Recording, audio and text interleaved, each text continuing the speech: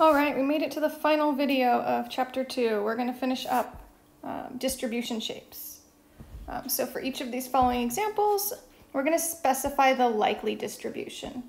So again, distribution is shape. And we're saying likely because again, these are just samples and the shape might fill out a little bit differently if we had collected more data. Um, so just what makes the most sense. So let's look at this first one. We have a histogram of people's ages. Um, and so I'm just going to draw a little curve and kind of see what kind of shape it might make. So to me, I look like I have a little bit of a tail on the left side, which means this would be left skewed.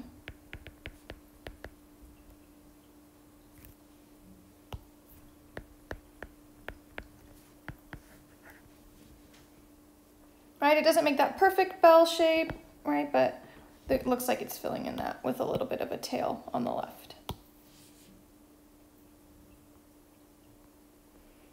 So let's look at the next one. So this is um, a Minitab version of a stem and leaf. Minitab is just an application. Um, Minitab, for some reason, doesn't put the line down the middle, so I'm going to add it myself. But it is the same graph we've been making. Um, it's the same one we made a couple videos ago in section 2-3. And it's really hard to see the shape with a stem leaf, right? It just looks weird. Um, but what I notice is if I turn my head sideways, so this would be the bottom, you can kind of see shape. So turn your paper sideways and it looks very, very slightly right skewed, right? Because we have a slight tail on the right.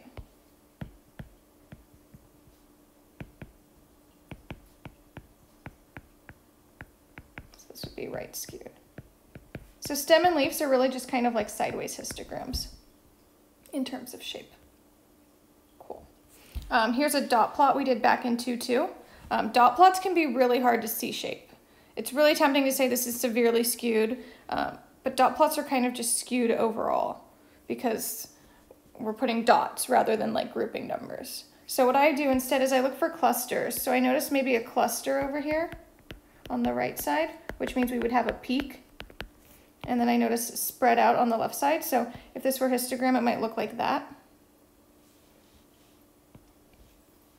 So I would say this is left skewed. Um, I'm not going to say severely because dot plots already look severe, so I'm just going to go with left skewed. If I were curious about severe, I might make a histogram to check that out.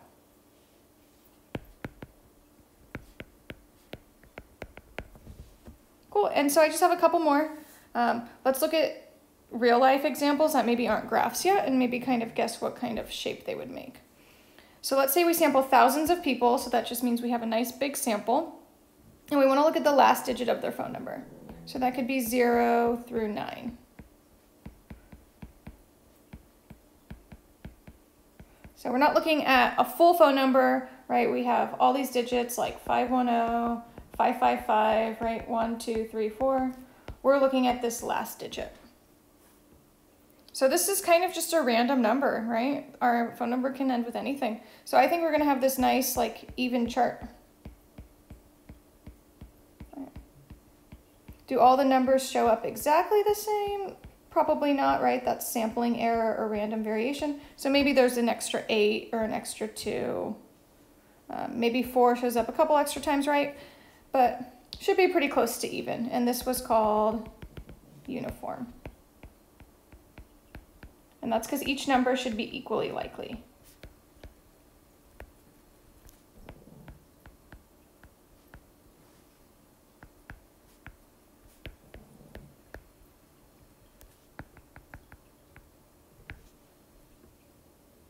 That makes sense. Send me questions if not. Um, now let's go to Great America, right, the amusement park, and look at the ages of people. So I'll go, I'll go by tens. I'm just sketching to get a general idea. Um, 80, maybe some 90 year olds, maybe not. It's Great America. Um, what kind of distribution do we expect? So again, we're looking for shape. So I don't think all ages are equally likely anymore. Uh, I'm going to do bars on this one just to make life a little easier. Um, I think there will be a lot of kids at Great America. And then as we get older, I think it's going to be less common, right? The adult ages, there's going to be less adults, and their ages are also going to be more spread out. Um, so I would probably argue that this is left skewed. right? More kids, less adults. Or sorry, right skewed. right, the tail's on the right.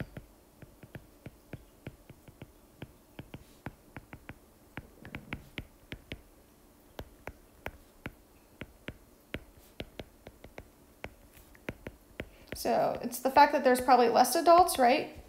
One adult will probably have multiple kids. And then also just adults in general, their ages are more spread out, right? There might be 30 year old parents, there might be 50 year old parents, there might be grandparents taking the kids to the park.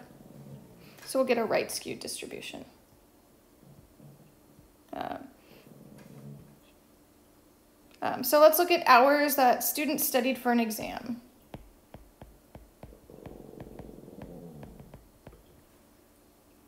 If you hear growling, and that's my dog. I don't know why. I sorry. Um, so we have a large number of students studied a lot. So here's a lot of hours, right? Lots and lots and lots of students studied a lot, right? Maybe not exactly the same. Um, and then a similar number of students didn't study much. So maybe the middle hours are kind of empty, and then we have a lot of students who didn't study at all. Um, and then it's likely that there's probably a few in the middle, right? So this is probably U-shaped or bimodal because we'd have two peaks.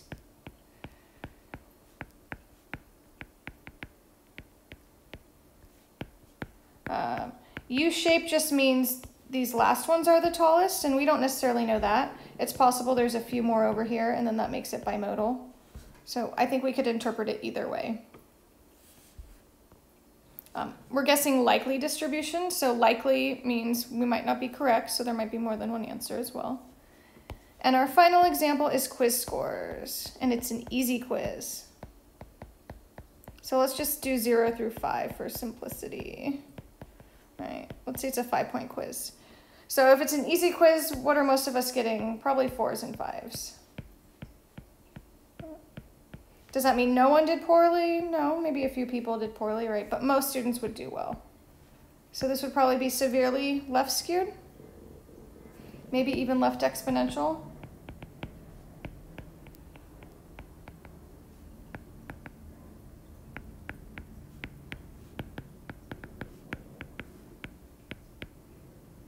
Right. Most, most have high scores.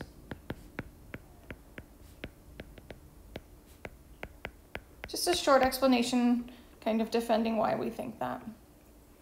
And then we made it through chapter two, and for watching all these videos, um, we'll get a reward and draw a flower on our homework too to get a bonus point. Maybe you can draw a better flower than me. So I'll see you back for chapter three. Let me know if you have any questions.